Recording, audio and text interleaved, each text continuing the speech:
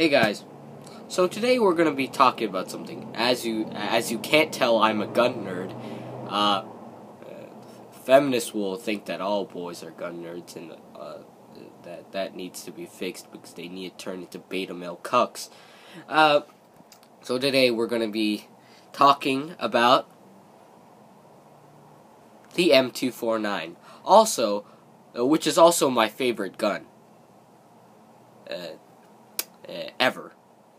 Unless they come up with something new. I, I, I think, uh, oh yeah, wait, no, my favorite gun was the LSAT. Shit, but still, the M249 it is for me. It, it, it's been my favorite gun for a very long time. And why is the M249 my favorite gun? Well, I grew up on it. I, I played this mobile game on my dad's phone. And, well, I found the M249 and it was beautiful. It was everywhere uh, in scholastic books about the military, besides the M4A1 carbine, carbine. Uh, I, I, I, I'm, I'm, I'm, shoot. Uh, it, uh, how do you say? It, it, I, I kind of, I don't know it, but I'm in between M60 and uh, M249. Uh, you see, the M249 fires the 5.56 cartridge while the M249 no no while the M M60 fires a the 762 cartridge, which is also which is a larger round. And, and, and, you know you know instantly I'm pissed by that. I I you know what I just want a 50 cal M249.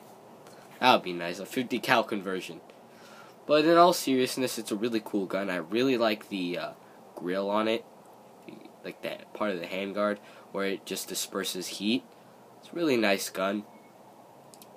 I like I like I don't like the paratrooper version. The stock is disgusting. It it just makes it look a little more like a, a pussy like what is it called again? One of those pussy like CQB weapons. I mean CQB weapons aren't that bad.